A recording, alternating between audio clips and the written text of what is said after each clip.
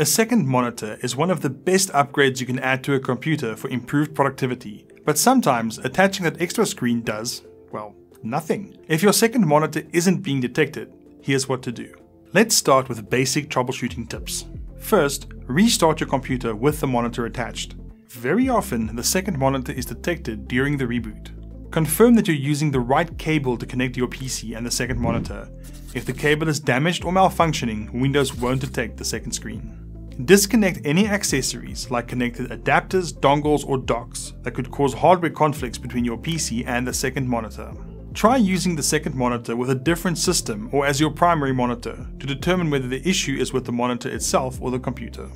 Check whether the second monitor is connected to a power source and powered on. Some monitors have a switch at the back to power on the display. Make sure the correct input, such as HDMI or DVI, is selected using the built-in controls on your monitor. Connect another working monitor to check if the issue is with the graphics card. You may need to update the firmware of the display you're setting up as a second monitor to fix any compatibility issues or bugs. You can do this by going to the display manufacturer's website to check their support page for instructions on how to apply the firmware to your screen. If there are no physical connection problems with your PC and second monitor, you can use the Settings app to force detection of the second display. First, open Settings and then click on System.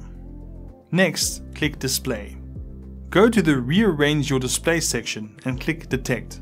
That should force detection of your second monitor. A buggy, outdated or corrupted graphics driver may be one of the main reasons why Windows 10 won't detect your second monitor.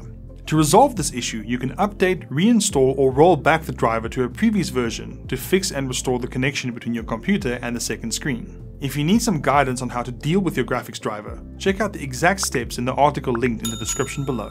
See you next time.